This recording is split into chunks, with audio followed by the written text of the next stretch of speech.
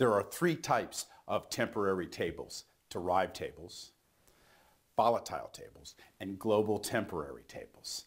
Now, let's talk about each of these three logically so you have a feel for what we're going to discuss. A derived table is built inside parentheses, inside your SQL. It only lives for the life of that query only, and then it is gone. You will use your spool space to create and populate it. Now, a volatile table, you'll create it with an actual create statement, and then you'll populate it with an insert select, and you can query it all session long, hundreds of times. But when you log off, it is gone. It also uses your spool space. Now, temp space is how you populate a global temporary table, but it's a different animal. You create a global temporary table one time, and then you populate it with an insert select statement. You can again query it all session long, but when you log off, the data is gone, but the table structure stays permanently. I'm going to show you many different derived tables and structures of way to create them. And I want you to start with the simplest form.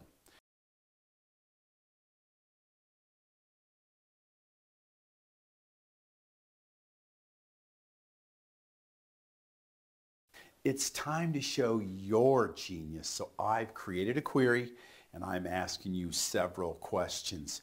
Take a look at the blue portion where we create our derived table.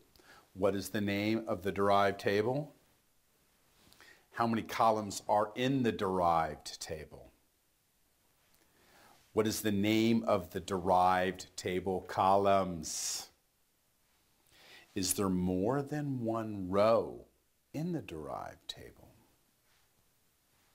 What are the common keys that join the employee and the derived table? And why were the join keys named differently? Good luck.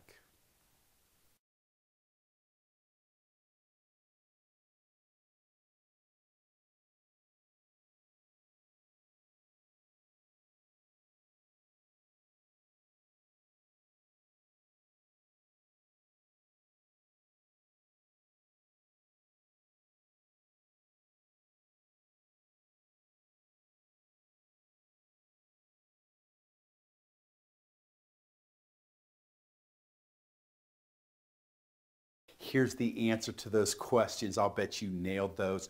What is the name of the derived table? Moi, TeraTom, your favorite teacher. How many columns are in the derived table? Two. What's the name of the derived columns?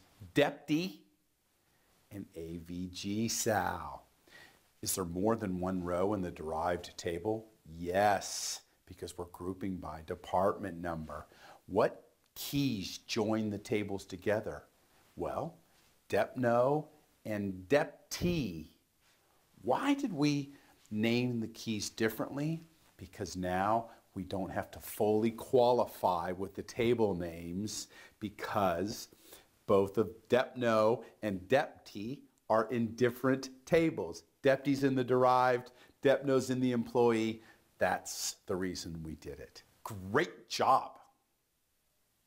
In a derived table, you must always name the derived table name. If you call it Tom, it works faster. That's my story. I'm sticking to it. You can name it anything you want. You've got to alias the columns, but you've got a little flexibility there. And I want to really emphasize this point here.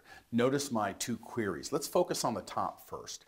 We say select DEPNO as deputy and average salary as AVG sal, I have specifically named both of those columns right there in that select clause. In the example below, I have said select DEPNO, comma, average salary as AVG sal. In that case, I let DEPNO just alias itself by its current name and I was able to fully name the average salary because it's an aggregate. That's a rule. So there's some flexibility in aliasing those columns. This lesson is brought to you by Coffing Data Warehousing. Begin your Teradata journey the right way with our Teradata Basics book. Visit coffingdw.com for more information. Hi, this is Tom Coffing. Thank you so much for watching the video. Please hit subscribe to make sure you are kept up to date on all our videos.